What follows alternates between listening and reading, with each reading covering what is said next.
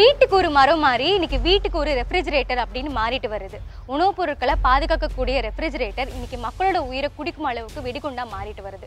தமிழகத்துல சமீப காலமா ரெஃப்ரிஜிரேட்டரால பல விபத்துகள் வந்து ஏற்படுது. இது எதனால ஏற்படுது? இதை தடுக்கும் வழிமுறைகள் என்ன என்பதுதான் இந்த பகுதியில் நம்ம பார்க்க போறோம். வாங்க பார்க்கலாம்.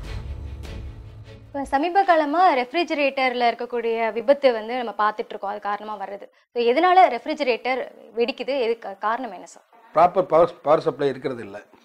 ப்ராப்பர் பவர் பவர் சப்ளை முதல்ல மெயின்டைன் பண்ணணும். ரெண்டாவது கரெக்டான ப்ளக் பாயிண்ட் இருக்கணும். ஃபைவ் ஆம்ஸ்னால் ஃபைவ் ஆம்ஸ் ப்ளக் பாயிண்ட் கரெக்டாக இருக்கணும். அதுக்கான சாக்கெட்டு ப்ராப்பர் சாக்கெட் இருக்கணும். மஸ்ட் ஸ்டெபிளைசர் இந்த ஸ்டெபிளைசர்ன்றது மஸ்ட்டு இதுதான் வந்து வோல்டேஜை வந்து கரெக்ட் கரெக்ட் லெவலில் வந்து ஹை வோல்டேஜ் வந்தாலும் ஸ்டெப் டவுன் பண்ணி கொடுக்கும். லோ வோல்டேஜ் வந்தாலும் ஸ்டெப் அப் பண்ணி கொடுத்து கரெக்டான லெவலில் வந்து ஃப்ரிட்ஜை வந்து ரன் பண்ணுறதுக்கு வசதியாக உள்ளது இதுதான். ஸ்டெ இதுதான் அந்த ஸ்டெபிளைசர் பார்த்தீங்கன்னா ஃப்ரிட்ஜ் இருக்குன்னு வச்சுக்கோங்களேன். அதாவது அழுத்தி சாத்துற அளவுக்கு லோடு வைக்கிறது. அது பண்ணக்கூடாது. ஃபுல் லோடு வைக்கக்கூடாது. ரெண்டாவது விஷயம் வந்து ஃப்ரிட்ஜு வந்து கட் ஆஃப் ஆகுன்றதை நம்ம தெரிஞ்சுக்கணும். ஆட்டோ கட் ஆஃப் ஆகுதுங்களா? அப்படின்றத நம்ம தெரிஞ்சுக்கணும். கண்டினியூஸாக ஓடிக்கிட்டே இருக்கும். ரெஸ்ட் இல்லாமல் கண்டினியூஸாக ஓடணும் என்ன ஆகும்னா கரண்ட் வந்து ஹை கரண்ட் எடுக்கும். ஹை கரண்ட் எடுக்கும்போது ஸ்பேர்ஸ் வந்து ஸ்பேர்க்கு ஸ்பேர்ஸ் வந்து அடி வாங்கும். ஸ்பேர்ஸ் அடி வாங்கும்போது உள்ளே வந்து ஸ்பார்க் வரும். ஸ்பார்க் வந்துச்சுன்னா ஹை ஹை ஆம்ஸ் எடுக்கும். ஹை ஆம்ஸ் எடுச்சுன்னா கம்ப்ரஸர் ஓப்பன் ஆகி கேஸ் வந்து கம்ப்ரஸர் ஓப்பன் ஆகி பஸ்ட் ஆகிடும் பஸ்ட் ஆகும்போது என்ன ஆகுதுன்னு கேட்டிங்கன்னா அந்த கேஸ் எல்லாம் வந்து கேஸ் வந்து வெளில வரும்போது ஃப்ளேம் ஃப்ளேம் ஆகி எரிய ஆரம்பிச்சிடும் எரிய ஆரம்பிச்சுன்னா இது வந்து மெட்டல் மெட்டல் பாடி கிடையாது. மெட்டல் பாடி தான். இதில் வந்து இது பார்த்தீங்கன்னா ஒரு ஃபிஃப்டி பர்சன்ட் தான் மெட்டல் பாடி உள்ளே பார்த்தீங்கன்னா ஒரு தெர்மோகுல் தெர்மோகுல் ஃபஃபால் ஆனது கொஞ்சம் எரிய ஆரம்பிச்சதுனால கொழுந்து விட்டு எரிய ஆரம்பிச்சிடும் அப்போ தான் அந்த இன்சிடென்ட் எல்லாம் நடக்கிறது. ஒரு ரெஃப்ரிஜிரேட்டர் நம்ம வாங்குறோம் அப்படின்னா நம்ம அதை எப்படி வைக்கணும் எப்படி பராமரிக்கணும் சார்? முதல்ல வந்து நல்ல காற்றோட்டம் உள்ள பகுதியில் தான் வந்து ரெஃப்ரிஜிரேட்டர் வைக்கணும். எங்கே வைக்கக்கூடாதுன்னு கேட்டிங்கன்னா ஹீட்டு ப்ரொடியூஸ் ஆகிற இடத்துல வைக்கக்கூடாது. கிச்சனில் வைக்கக்கூடாது. நல்ல நாலு பக்கம் காட்டு மினிமம் வந்து பார்த்தீங்கன்னா சிக்ஸ் இன்ச்சஸ் கேப் கேப் இருக்கணும். பேக் சைடில் வந்து சிக்ஸ் இன்ச்சஸ் கேப் இருக்கணும். சைட்லேயும் ஒரு சிக்ஸ் இன்ச்சஸ் கேப் இருக்கணும். ரெண்டு சைட்லேயும் ஃப்ரண்ட்டில் ஆல்ரெடி நம்ம டோர் திறக்கிறதுக்காக ஸ்பேஸ் வச்சுருப்போம். அதனால் ப்ராப்ளம் கிடையாது. கொண்டை வந்து மூளையில் கொண்டு சொருகி வைக்கிறது ரொம்ப ஹீட்டு ப்ரொடியூஸ் ஆகிற இடத்துல வைக்கிறது. அதிக அதிகாலையில் பார்த்தீங்கன்னா வெயில் அடிக்கிற பகுதியில் வைக்கிறது. அதிகாலத்தில் வெயில் அடிக்கிறீங்களா? கிழக்கு பார்த்து விட இருந்தால் வெயில் அடிக்கும் பார்த்தீங்கன்னா அந்த இடத்துல வந்து ஃப்ரிட்ஜை வச்சிருது நேராக வெயில் அடிக்கும் அதில்.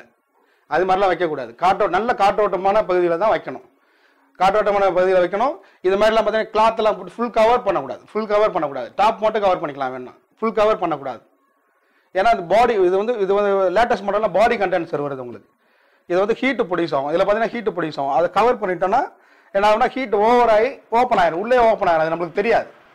ஃபுல் கவர் பண்ணவே கூடாது. ரெஃப்ரிஜிரேட்டர்ல இருந்து பாத்தீங்கன்னா இப்போ புதிய மாடல் பழைய மாடல் ரெண்டு விஷயமா சொல்றாங்க. பழைய மாடல்ல அந்த விபத்துகள் ஏற்படல. இந்த மாதிரி புதிய மாடல்கள்ல வந்து விபத்து ஏற்படுதுன்னு சொல்றாங்க. அதுக்கு என்ன காரணம்? பழைய மாடலில் வர கேஸ் ரெஃப்ரிஜரண்ட் பார்த்தீங்கன்னா ஆர் டுவெல்லுன்னு வந்திருந்தது. அது வந்து ஃப்ளேமபிள் கேஸ் கிடையாது. ஃப்ளேம் ஆகாது.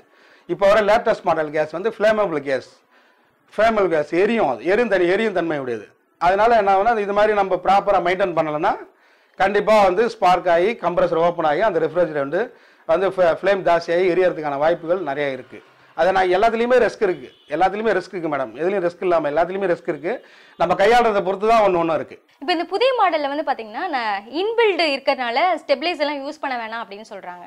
அந்த மாதிரி யூஸ் பண்ண வேண்டாமா இந்த மாதிரி இன்பில்டுக்கு ஸ்டெபிலைசர் மஸ்ட் மேடம் ஸ்டெபிலைசர் நீங்கள் போட்டு தான் ஆகணும்.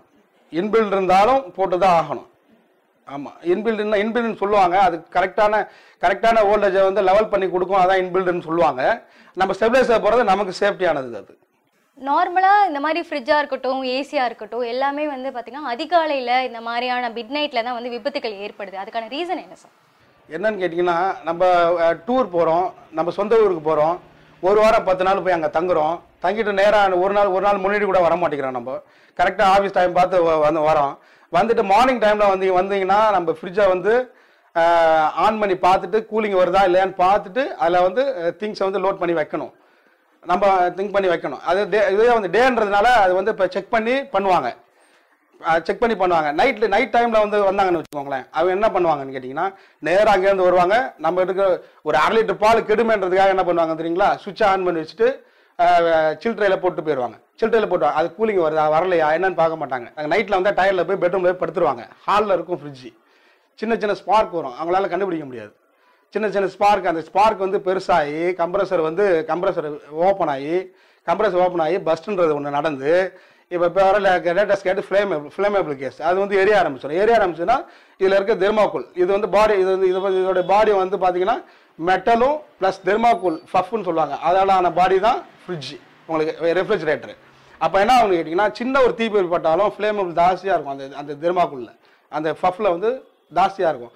அப்போ வந்து என்ன ஆகும்னா நம்ம பெட்ரூமில் உள்ளே படுத்திருப்போம். ஹாலில் நம்மளுக்கு தெரியாது. என்ன நடக்குதுன்னு தெரியாது.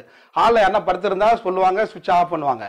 பெட்ரூமில் இருக்கும்போது தெரியாது. அப்போ என்ன ஆகும்னா எரிஞ்சு அது க க- க- ரொம்ப கறி புகையெல்லாம் அதிகமாகி அந்த கார்பன் ஜாஸ்தியாகி அதுக்கு பிறகு நம்ம உள்ள இங்கே ஹண்ட்ரட் பர்சன்ட் கவரான பிறகு தான் பெட்ரூம்குள்ளே வரும் நம்மளுக்கு. பிறகு நம்ம சுவாசம் தாங்க முடியாது. டோர் டோர் டோர் திறக்கும் போது நமக்கு என்ன பண்ணணும் பயந்துரும். அந்த டைமில் என்ன பண்ணணும்னு தெரியாது. அந்த என்ன என்ன அந்த பதட்டத்தில் என்ன பண்ணுவோம்? இழுத்து அடிச்சு பிடிச்சிட்டு ஓடி வரும்போது சுவாசிக்க ஆரம்பிச்சிரும் அது. நார்மலாக ஒரு ஃப்ரிட்ஜை வாங்கின உடனே எத்தனை முறைக்கு ஒரு முறை வந்து சர்வீஸ் பண்ணணும்? ஒரு ஆறு மாசத்துக்கு ஒரு தடவையாவது ஒரு வருஷத்துக்கு ஒரு தடவையாவது ஒரு டெக்னீஷியன் கூப்பிட்டு செக் பண்றது நல்லது. இந்த ஃப்ரிட்ஜை வந்து வந்து பார்த்தீங்கன்னா மழைக்காலங்களில் எப்படி யூஸ் பண்ணணும் வெயில் காலங்களில் எப்படி யூஸ் பண்ணணும்? வெயில் காலத்தில் நல்லா காற்றோட்டமாக உள்ள இடத்துல வைக்கணும். மழை காலத்தில் என்ன ரிஸ்க்குன்னு கேட்டிங்கன்னா நம்ம நம்ம வீட்டில் உள்ள கிராக்ஸ் பில்டிங்கில் இருக்கும் கிராக்ஸ் அந்த கிராக்ஸ் எல்லாம் என்ன பண்ணணும் நம்ம ஃபில்லப் பண்ணிடணும். சிமெண்ட் வச்சு ஒரு இன்ஜினியரை கூப்பிட்டு ஃபில்லப் பண்ணிடணும்.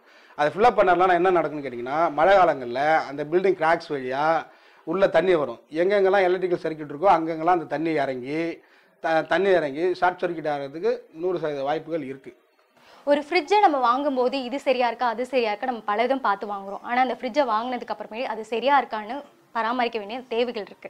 ஸோ நம்ம ஃப்ரிட்ஜை வாங்கினதுக்கப்புறம் அதை நம்ம சரியா பராமரிச்சா நிறைய விபத்துக்களை நம்ம வந்து தடுக்க முடியும். ஸோ உங்களோட ஃப்ரிட்ஜ் பத்திரமா இருக்கான்னு நீங்களும் ஒரு வாட்டி செக் பண்ணிக்கோங்க. ஒளிப்பதிவாளர் சரத்குமாருடன் வசந்தி நியூஸ் செவன் தமிழ்.